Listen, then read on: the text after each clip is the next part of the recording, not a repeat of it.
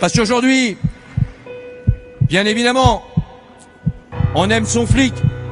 Son flic qui est là quand on a une menace. On pleure son flic quand il se fait lâchement assassiner sur les Champs-Élysées et on le stigmatise dans d'autres situations.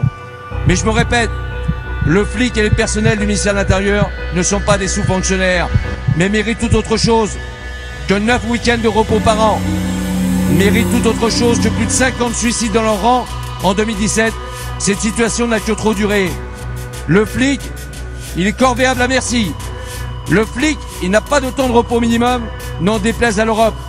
Le flic, il doit toujours aller de l'avant. Alors nous on dit non, nous avancerons et nous nous développerons encore plus.